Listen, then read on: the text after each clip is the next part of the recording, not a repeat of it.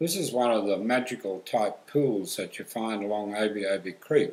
We're only a small distance down from the effluent disposal area and you can see quite a broad expanse of water here. Over on the other bank there's a cliff but you can also notice that there will be a need for us to take some um, concern with the revegetating of the opposite bank as well.